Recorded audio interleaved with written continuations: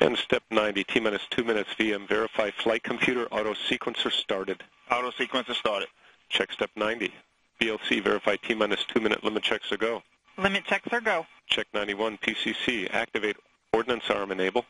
Arm enable. Check 92, PCC, arm booster ordnance. Booster arm. Check 93, PCC, arm Orion motor SNAs. Orion's arm. Check step 94. And all stations were currently standing by step 95 at T minus one minute.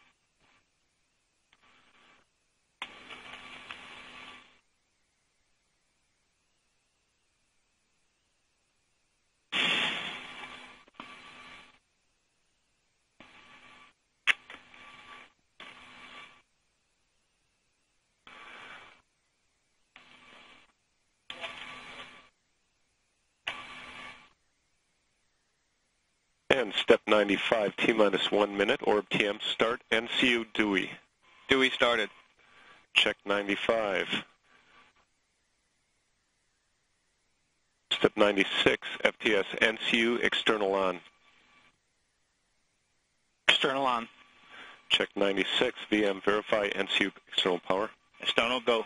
Check 96, PCC activate NCU batteries. Batteries activated. Check 98, FTS NCU external off. External off. Check 99, VM verify NCU batteries. Batteries go. Check 9, 100. Standing by steering test. VMs go for launch. Copy that VM. Check step 101. T minus 10. T minus 5, 4, 3, 2, 1. Ignition. We have.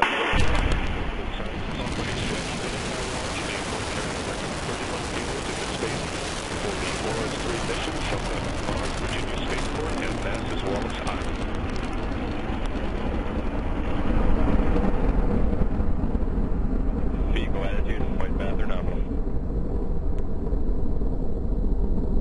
Liftoff time was 011500. Copy that, sir. Vehicle avionics and booster powered.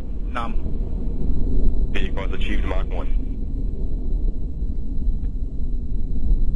The Minotaur 1 launch vehicle is entering predicted max Q is 3 miles downrange at an altitude of 6 miles, traveling at a speed of 1,600 miles per hour, or Mach 2.4. Vehicle attitude and flight path Unit nominal. AOS. We're approaching stage 1 separation, stage 2 ignition event, which occur at approximately T plus 60 seconds.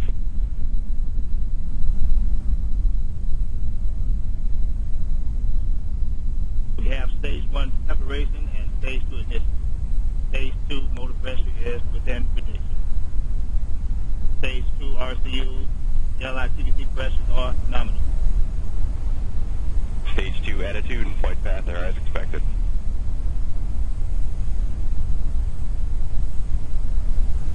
Vehicle avionics and booster power system are within acceptable limits.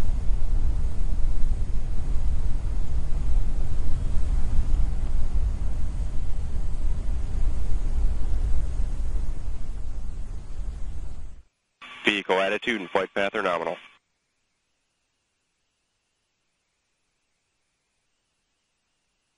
The next expected event is stage 3 TVC battery activation, followed by the stage 2 separation and stage 3 ignition in approximately 15 seconds.